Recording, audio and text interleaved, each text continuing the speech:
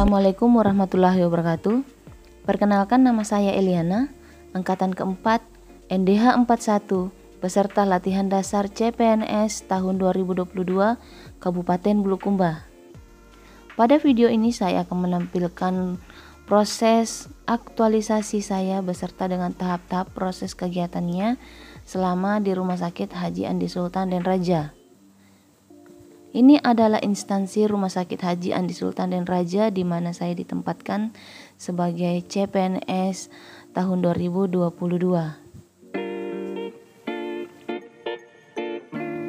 Kegiatan pertama yang saya lakukan pada saat tiba di rumah sakit yaitu melakukan absensi datang.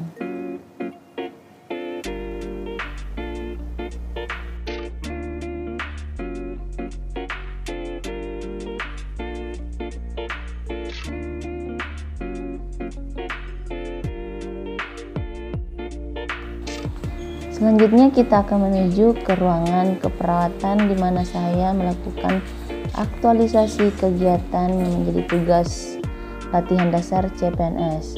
Ini adalah gedung C2 yaitu gedung perawatan flamboyan interna dan ruang perawatan melati yaitu bedah.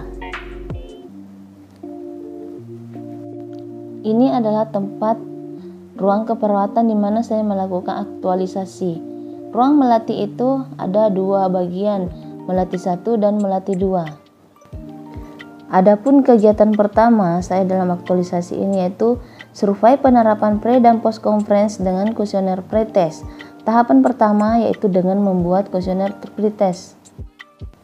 Adapun tujuan melakukan survei ini dengan membagikan kuesioner pretest yaitu untuk mengetahui tingkat pemahaman dan pengetahuan petugas terhadap kegiatan pre dan post conference yang berhubungan dan berkaitan dengan SOP pelaksanaan. Tahapan selanjutnya yaitu konsultasi kuesioner kepada mentor tentang isi dari kuesioner pretest. Selanjutnya setelah itu kita akan mencetak kuesioner dan membagikan kuesioner kepada sasaran untuk diisi. Selanjutnya, pembagian kuesioner kepada sasaran yaitu Katim dan petugas.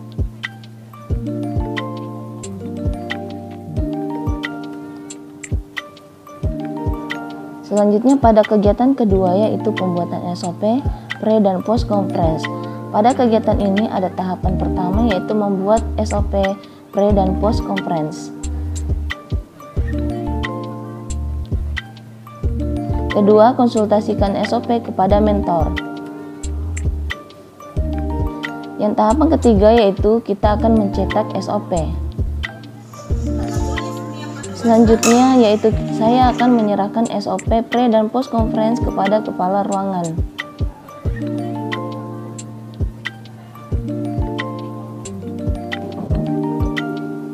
Selanjutnya pada kegiatan ketiga yaitu akan membuat roleplay pelaksanaan pre dan post conference. Tahapan pertama yaitu membuat naskah roleplay. Tahapan kedua yaitu konsultasi naskah roleplay kepada mentor. Selanjutnya kita akan melakukan perekaman roleplay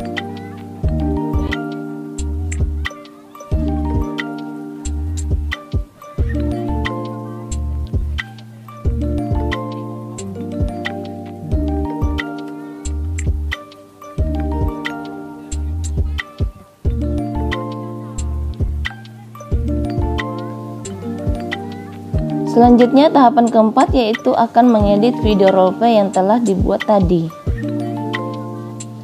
Setelah itu, setelah ACC kita akan bagikan video roleplay kepada grup di ruangan. Selanjutnya pada kegiatan keempat yaitu sosialisasi SOP dengan video monolog. Tahapan pertama yaitu membuat dan mengedit video sosialisasi SOP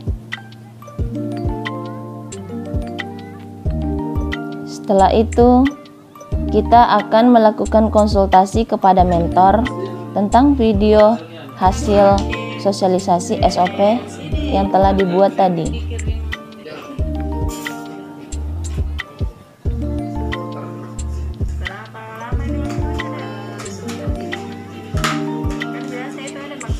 Setelah ACC, kita akan membagikan link video sosialisasi SOP kepada kepala ruangan dengan petugas yang lain melalui grup WA.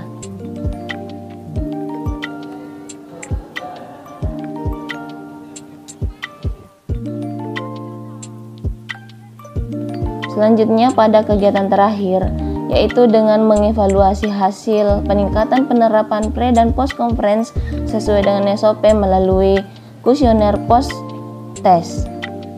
Dengan memberikan kuesioner post test, kita akan mengetahui tingkat pemahaman dan pengetahuan petugas terhadap pelaksanaan pre dan post conference sesuai dengan SOP.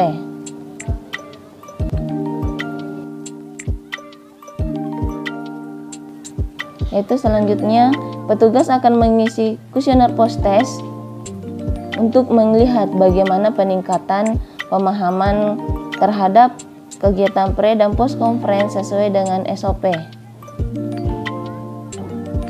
Nah, pada tahapan terakhir, saya akan mengelola data hasil pre dan post conference dari hasil kegiatan yang telah dilakukan. Dari hasil evaluasi data kuesioner yang didapat, yang pertama yaitu adanya peningkatan pengetahuan petugas terhadap penerapan kegiatan sesuai dengan SOP yang berlaku. Yang kedua, serta lebih disiplin dalam pelaksanaan conference.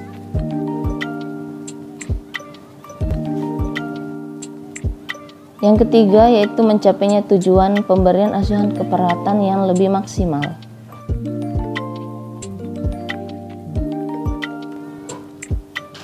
Itulah tadi proses kegiatan aktualisasi pelaksanaan penerapan pre dan post conference keperawatan di ruang keperawatan Melati Rumah Sakit Haji Andi Sultan dan Raja Bulukumba. Sekian dan terima kasih.